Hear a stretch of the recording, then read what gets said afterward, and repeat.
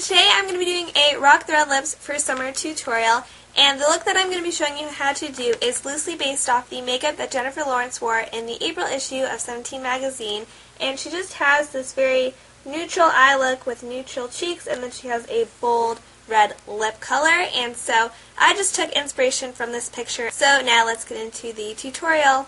To start off, I'm using this NYX 10 color eyeshadow palette in the color Champagne and Caviar. First color I'm taking is this chocolate brown color and I'm filling in my eyebrows with using short strokes and filling in the sparse areas. This will make my eyebrows look a lot bolder and really frame my face.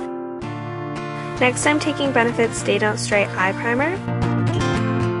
I'm priming my eyes in preparation for eyeshadow. I'm taking this Wet n Wild eyeshadow palette. This is unfortunately discontinued, so you can't find it in stores anymore, and I'm missing two colors in it because they fell and shattered, but this is in the color Sandcastle.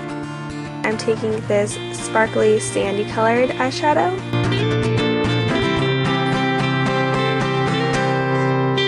I'm placing this in the inner third of my lid. Then I'm taking this CoverGirl single eyeshadow. Sorry it looks so grimy, I've had it for a really long time, but this is in the color Rosy Outlook, and I'm placing this on the outer two-thirds of my lid.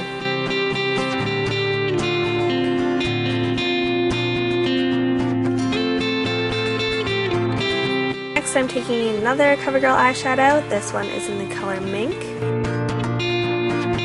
And I'm placing this in my crease.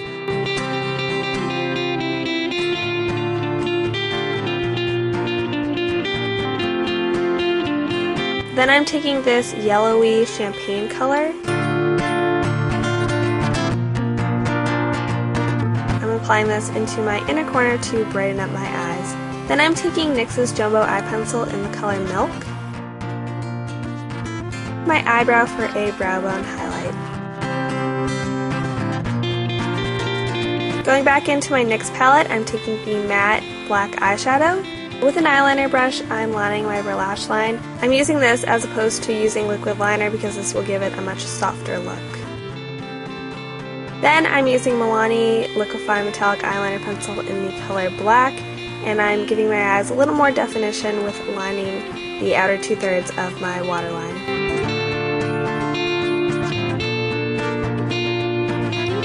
Now I'm curling my lashes with my Revlon eyelash curler.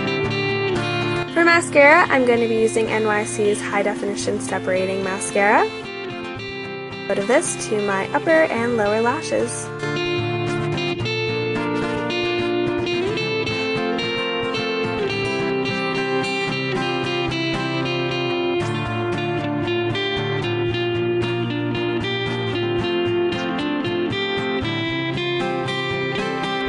Now I'm using this CoverGirl blush in the color Natural Shimmer. This is a very natural looking blush. It's a light pink color, so it'll just warm up your cheeks a little bit but not look too noticeable that you're wearing blush. And then I'm taking this e.l.f. Clarifying Press Powder in the color Light Beige.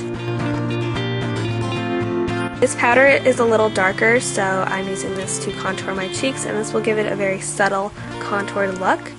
Then I'm using Maybelline Baby Lips Tinted Lip Balm in the color Cherry Me. It's this bright, almost red color. It's kind of like a pinky red. So I'm applying this to my lips. Then I'm using this Wet n Wild lipstick in the color 928. This is a nice bright red color, so I'm applying this to my lips to finish off the look. And here's the finished look.